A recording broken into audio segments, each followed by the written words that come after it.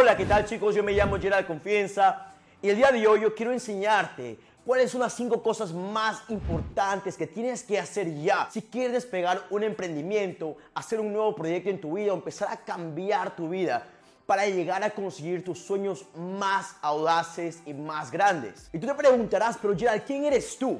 O sea, ¿por qué tú puedes enseñarme esto a mí? Y es una pregunta muy válida. Yo creo en la coherencia, yo creo en el tú. Si vas a aprender de alguien, asegurarse que esa persona tiene los resultados que dice tener, fundamenta uh, sus enseñanzas con su propia vida, con los hechos de su vida. Así que déjame explicarte quién soy. Yo, me llamo Gerald. Mi apellido es Confianza. El año pasado viajé por todo el mundo y generé solo los 100 mil dólares en regalías vendiendo productos en línea. Ahora tú me preguntarás, pero ¿eso qué tiene que ver? Eso es solo relevante y solo importante porque considerando que hace tres años atrás yo estaba trabajando un empleo muy que me pagaba muy poco, estaba sin ni un dólar en el bolsillo, estaba con apenas suficiente dinero tal vez para el transporte público, pude transformar mi vida financiera y pude viajar el planeta tal cual como alguna vez yo lo deseé tanto. Entonces, si yo pude hacer esto, significa que hay algo que tú puedes aprender de mí. Tal vez tu sueño no sea viajar el mundo, tal vez tu sueño no sea generar altos ingresos, pero los principios de la consecución de metas, de la consecución de sueños, es muy similar para lo que sea que estés tratando de realizar. Solo asegúrate que es un deseo audaz y solo así lo que te voy a decir hace sentido. Muchas de las cosas que estoy a punto de comunicarte son cosas muy fuertes. Son cosas que gente allá afuera te va a decir que no hagas. Gente va a comentar tal vez abajo diciendo que, oye, eso es muy, muy ya muy extremo y yo no creo en eso, yo creo que para hacer cosas grandes tú tienes que literalmente ir al extremo, obsesionarte un poco, así que espero que les guste estas cinco cosas. Punto número uno, visualiza, visualiza, visualiza. ¿Qué es visualizar? Hay una gran diferencia entre visualizar y solo pensar. De hecho, Friedrich Holderlin, creo que era un filósofo alemán, poeta alemán, él decía que el hombre es un dios cuando sueña, pero un mendigo cuando piensa. Cuando uno piensa, solo ve la realidad actual, ve lógicamente lo que le está pasando. Si tú no tienes dinero en tu bolsillo, ni siquiera para tu pasaje de vuelta, tu cerebro te dice, pues la chorreaste, es tu culpa, eres un perdedor, Ah, cómo puedo hacer para tener un pasaje ahorita, cómo puedo resolver mi, situación de forma inmediata, algo tengo que hacer, pero tu cerebro es muy limitante, es muy escaso, solo piensa en ruedas. Tu cerebro no piensa en cosas que no ha visto antes, tu cerebro funciona así, tu cerebro está acostumbrado a tu vida y de acuerdo a, a lo que rodea tu vida y a lo que es parte de tu vida, te devuelve lo mismo en pensamiento. Entonces tú nunca puedes salir, digamos, de la pobreza. Si todo lo que ves es pobreza, todo lo que escuchas es pobreza, todo lo que sientes es pobreza, tu mente te va a seguir respondiendo a tus preguntas de una forma muy pobre y escasa. ¿Cómo es que cambias ese patrón? Tú tienes que empezar a soñar, a visualizar. Cierras tus ojos y te pones a hacer preguntas, empiezas a no ver tu alrededor, sino ver mucho, mucho más allá. Tú te pones a pensar, oye, ya estoy fregado ahorita, pero ¿cómo no me gustaría que sea mi vida ideal? ¿En qué país estoy? ¿Con quiénes estoy? ¿Qué estoy haciendo? Estoy grabando videos de TikTok, tal vez, no sé, estoy, estoy escribiendo libros, estoy vendiendo en línea, estoy dando conferencias, estoy haciendo tutoriales, estoy ah, creando una empresa, una constructora. ¿Qué es lo que estoy haciendo en mi vida ideal? Y una pregunta muy importante también es, ¿cómo es tu día ideal? como cuando tú despiertas, ¿qué es lo primero que haces en tu día ideal? ¿Qué es lo primero que haces? Y yo me puse a pensar en esto alguna vez y hasta el día de hoy no cumplo mi día ideal completamente, pero sí yo he visto, lo veo cada vez más cerca. En mi día ideal actualmente, como estoy a los 24 años, es despertarme en una playa del Caribe con varios amigos, empezar a hacer yo mi propia rutina de visualización, mi, rutina de, las mañanas, empezar a, a trabajar, a hacer llamadas, conferencias, grabarme para YouTube hacer varias cosas durante el día, después preparar un tipo de fiesta para la noche, hacemos compras, vamos a la calle, nos divertimos. Ahora, esto es un día ideal para mí, que de hecho lo estoy postergando porque para mí todavía es, es trabajar. El, día ideal todavía para mí ahorita es trabajar, pero yo quiero llegar a eso eventualmente. Podría hacerlo ahorita si quisiera, pero no es un momento correcto aún, creo yo. Otro día ideal para mí, y es parte de varios días ideales que tendría dentro de un año, es despertar en, en Japón, en una torre inmensa, tal vez un piso 15 o hasta 30, las torres son inmensas allá, ver todas las ciudades de arriba y, y yo me imagino un atardecer ahí sentado, trabajando desde mi laptop, como que esperando que venga visitas, algo así. Me, me encantaría que eso ocurra ya ha ocurrido parcialmente, digamos, en Corea, pero bueno, ¿por qué no podría ocurrir en Japón también? Entonces, cuando tú piensas eso, tu mente sale de, lo que está acostumbrado, de toda e, e, esa, esa digamos, ese peso negativo que cargas en el día a día, se libera de eso por un momento y empieza a pensar en posibilidades y te empiezas a motivar y empiezas a cambiar tu emocionalidad. Y cuando tú cambias tu emocionalidad, tienes el motor emocional, físico para empezar a hacer cosas distintas y eso es lo que te saca de donde estás. Entonces, paso número uno es visualizar, es muy importante. Y por lo último que quiero mencionar de esto es de Napoleón Bonaparte. Se decía que en algún momento Napoleón fue a la tumba de Magno con un soldado X. Y, Napoleón va a la tumba y dice, algún día yo voy a ser emperador de esta tierra, de, esto, de este lugar. Y el soldado se estaba riendo y ah, tú, tan chato, todavía tan bajito, ¿no? Y Napoleón le dice, no te rías porque cuando uno sabe lo que quiere, el mundo es como un juego de ajedrez y créeme que todas las piezas se alinean para que tú cumplas tu propósito. Yo no sé, chicos, si será esa historia verdad o no. Yo le escuché en una conferencia, yo sé que sí fue a visitar a Carlos Magno, pero si Napoleón Bonaparte dijo algo así, y considerando lo que hizo y de dónde vino, pues ¿por qué tú no? Entonces vamos, ya terminamos paso uno, vamos al paso número dos. Paso número dos, fija una estrategia con el vehículo correcto. Y créeme que tu estrategia al inicio va a ser equivocada, va a estar incorrecta, pero no importa. Lo importante es que encuentres el vehículo correcto hacia tu meta. Y tú, tú ya te has preguntado, ya te has preguntado cuál es mi día ideal. Ahora tú tienes que preguntarte unas preguntas adicionales, valga la redundancia. Una de ellas es la gente que me rodea o la gente que me da consejos o la gente que me dice que haga las cosas. Ellos tienen mi día ideal, ellos tienen mi vida ideal. ¿Sí o no? Les pregunto a ustedes, ¿sí o no? Pueden dejarlo en los comentarios abajo, ¿sí o no? Yo me daba cuenta en el personal que nadie en mi círculo alrededor mío tenía mi vida ideal porque pues todos vivían en Lima, nunca viajaban a nada en contra de Lima. Yo amo mi ciudad, pero nadie viajaba. Yo me encanta viajar. Un, dos meses que no esté viajando yo me siento que me estoy muriendo. Entonces yo tengo que estar viajando. Y ahorita yo, nadie en mi círculo me daba cuenta que viajaba. Todos me decían, búscate un empleo, yo ya estaba, ya me había graduado de la universidad, yo tiré mi, mi, título a la basura prácticamente, nunca lo usé hasta el día de hoy, con orgullo lo digo. Y yo recuerdo que estaba buscando, ¿no? Estaba, estaba tratando de emprender varios proyectos y una vez me hicieron hasta una intervención familiar. Me dijeron, Gerald, siéntate aquí con nosotros, vamos a hablar contigo. Y todos, una mesa redonda y mi tía es la líder de la familia. Y mi tía me dice, Gerald, la estás fregando, no tienes dinero, tienes un título de una de las mejores universidades en el país. ¿Por qué no estás haciendo nada con eso? Yo tengo empleos que te puedo recomendar porque mi tía era una gerente ejecutiva. Y le digo, ¿sabes qué tía? No me digas nada. Yo voy a hacer lo que yo quiero. Suena malcriado, suene, suene feo. Yo voy a hacer tal cual las cosas como yo vea mejor. Y decidí no prestar atención y seguir buscando porque yo sabía que yo no quería la vida que mi tía tenía, que mis padres tenían, que nadie ahí tenía.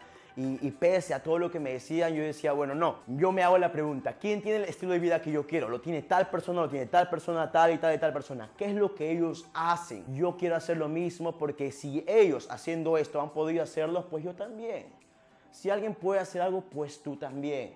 Si yo puedo hacer esto, pues tú también. A menos ya, pues que sea algo que físicamente limitante, no sea, yo, yo soy muy bajo en estatura, yo no voy a ser Michael Jordan nunca, ¿no? Pero para, otras cosas, creo yo, casi todo está en tus límites, dentro de tus posibilidades. O sea, yo no creo que, que, no se pueda hacer algo que otra persona está haciendo. Tenemos al fin y al cabo una cabeza con la misma cantidad de neuronas, solo que uno sabe aprovecharla más. Entonces, preguntas claves que te tienes que hacer.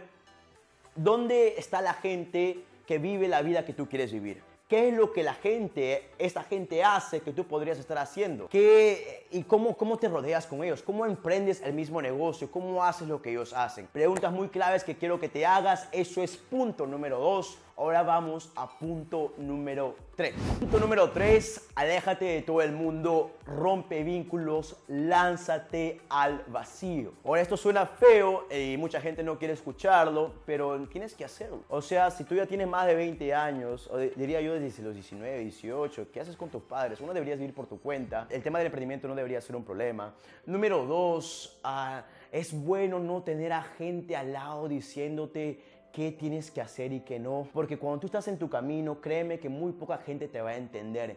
Y tú apenas vas a tener energía para motivarte a ti mismo. Porque tú ya vienes de un espacio donde, donde este tema del emprendimiento, de, estos proyectos no eran del común hablar. tú, tú tienes este espacio, aún tú puedes motivarte a ti mismo. ¿Cómo esperas motivarte cuando tienes toda la gente alrededor tuyo diciéndote que no vas a poder, diciéndote que vas a fracasar, diciéndote que vayas por lo que ellos ya están acostumbrados. Y ojo chicos, yo sé que me estoy enfocando mucho en emprendimiento, pero esto aplica para todo, aplica literalmente para cualquier meta audaz. Por eso yo puse meta audaz en el título, porque si estás haciendo una meta del común y corriente a la cual la gente te va a aplaudir, pues déjame decirte que no es una meta audaz, porque cuando la gente cumple metas audaces, todos los tratan de llevar para abajo. Es el común de la gente. Si tú puedes contar tus metas fácilmente a otra persona, y ellas no se ríen, significa que tus metas no son suficientemente grandes. Si tu meta es audaz, tú no la compartes fácilmente, tú no lo dices a mucha gente.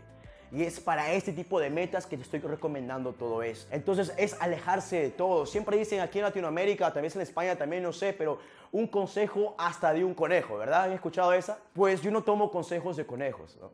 Y déjame decirte que las opiniones son los bienes más baratos que existen porque todos tienen una. Entonces, ¿por qué yo le debo de prestar atención a opiniones de gente del común, a gente promedio? Yo no presto atenciones. Yo no presto atención a gente común y el promedio porque yo no estoy aprendiendo de ellos. Si tomo opiniones, yo tomo opiniones de gente que tiene lo que yo quiero tener, vive como quiero vivir, o gente a la cual yo estoy sirviendo con mis servicios, con mi trabajo, con mis productos, pero no tomo opiniones de la mayoría porque ellos no tienen nada que ver conmigo. Eso es paso número 3, ahora paso número 4.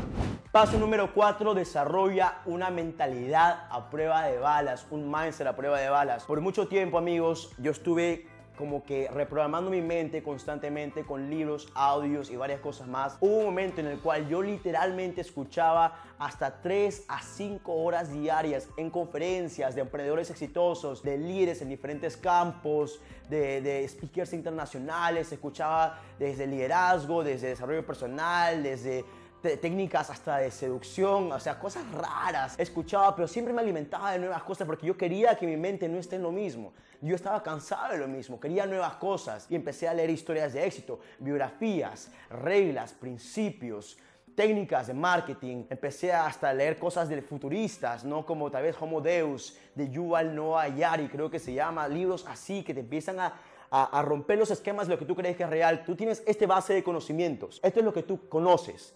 Esto es lo que tú sabes que no conoces, pero lo que tú no sabes que no conoces es ilimitado, o sea, es inmenso. Hay tantas cosas que no sabes que te podrías pasar una vida entera. Así que mínimo sigue aprendiendo siempre, mínimo siempre sigue alimentándote de conocimientos, pero también fortaleciendo tu emocionalidad. Y tú fortaleces tu emocionalidad escuchando constantemente éxito escuchando constantemente historias de éxito de personas que fueron de la nada, se convirtieron en algo, personas que en tu campo de desarrollo, en lo que tú quieres hacer, en tu meta audaz, fueron de la nada y se hicieron grandes, mientras que tú más escuchas eso, se va a volver como natural. Se va a volver, ah, ya no es raro, ya no soy como que el top 1%, ya no es parte de mi día a día ser exitoso, es parte de lo, que yo hago ser exitoso. No hay forma que no lo sea, porque has acostumbrado a tu, a tu cerebro a reconocer y crear éxito. Y eso se hace solo con repetición repetición y repetición. Hay una cosa súper importante que quiero mencionar que me le enseñó alguna vez un mentor que se llama Oscar Araya. Esto lo dijo en una chat, un chat bien privado, una charla bien privada, pero se los comparto a ustedes y si lo toman y prestan atención, pues le va a cambiar la vida. Él, después de haber sido millonario, fue la quiebra y estuvo muy apretado por mucho tiempo y él tenía que reconstruir su riqueza. Lo que él hizo por dos años enteros es que todas las noches al dormir y mientras dormía, él escuchaba dos audios, la magia de pensar en grande y piensa ya hace rico. Él se conectaba sus audífonos a, su, a sus oídos y se iba a dormir escuchando eso. Cuando tú estás durmiendo, tu cerebro, la, tienes una neocorteza y el subconsciente. La neocorteza como que se, se, pone, se pone a dormir. Tu subconsciente siempre está abierto, así que tú eres mucho más fácil de recibir información y hacerla parte de tus creencias. Entonces, si tú estás durmiendo y estás escuchando estos audios que son súper poderosos, como la magia de pensar en grande y piense, hagas rico. Todas las enseñanzas van directamente atrás al subconsciente. Él se metió ese hoyo todos los días por dos años. De vuelta recuperó toda su riqueza. Hoy en día está en camino a convertirse, bueno, ya es multimillonario a través de crear un patrimonio mucho, mucho más grande, impactando muchas, muchas más vidas. Y eso es solo reprogramación mental. Entonces, ahí les dejo una gema, una gema en, en, en, en una sugerencia espero que la tomen. Yo hasta el día de hoy, todas las noches me pongo un audio a escuchar. No es ser rico ni, ni imagen de pensar en grande. Ya, ya antes hacía eso, ahora ya no. Estoy escuchando otro, una meditación de Bob Proctor. Ah, todas las noches antes de dormir me la escucho. Pero igual, cualquier cosa que alimente tu cerebro mientras duermes es clave.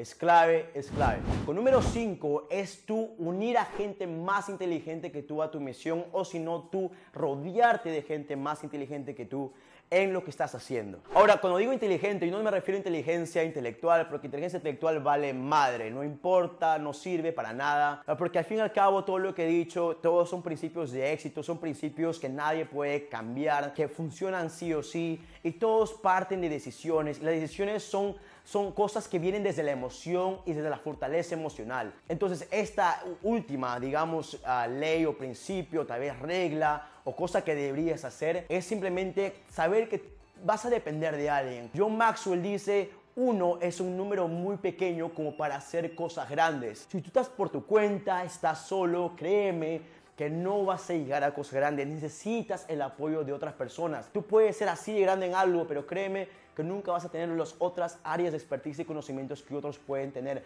Así que mantente constantemente aprendiendo de ellos. Enfócate en tu expertise, en tu zona de expertise, pero rodéate de gente que te complementa y aprende cada vez más de gente que está donde tú quieres llegar. Recuerden que es la ley de lo indispensable. Uno es un número muy pequeño como para realizar cosas grandes. Chicos, espero que les haya gustado estas cinco cosas que tienen que hacer para ya por fin ir en búsqueda, conseguir esas metas audaces, grandes que ustedes tienen. Espero que les sirva. A mí me sirvió a mí a saber todo esto. De hecho, no fueron decisiones que, que tomé fácilmente, costaron, demoró tiempo. Pero si tú mantienes haciendo estas cinco cosas, créeme que tarde o temprano vas a llegar a cualquier cosa que te propongas. Ahora, un tema muy aparte. Chicos, yo me dedico al emprendimiento digital, yo me dedico a la venta de libros en Amazon. Con eso he podido viajar el mundo y cumplir muchas de mis metas financieras y eh, en búsqueda de cumplir otras más grandes aún. Ustedes quieren aprender cómo lo hice. Tengo un libro que se llama Los 7 Pasos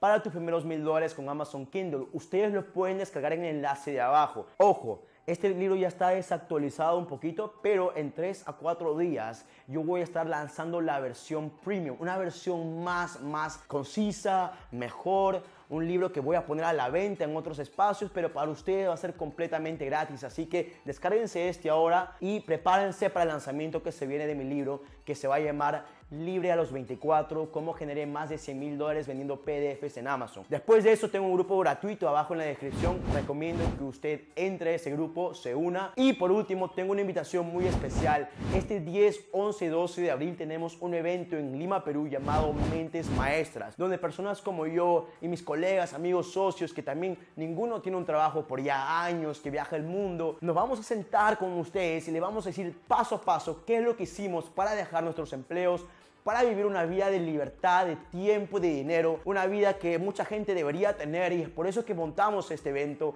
Yo creo que la libertad de tiempo y dinero es un requisito fundamental para el progreso del ser humano y definitivamente es algo que quiero empezar a enseñar cada vez más. Así que chicos, este 10, 11, 12 de abril, Mentes Maestras en Lima, Perú. Por favor, si están interesados, denle clic al enlace de abajo que dice Mentes Maestras. Si no, dejen un comentario en el chat de YouTube o en mi grupo de Facebook. El enlace está en la descripción. Eso es todo por ahora amigos. Espero que les haya gustado este video. Nos vemos en el siguiente.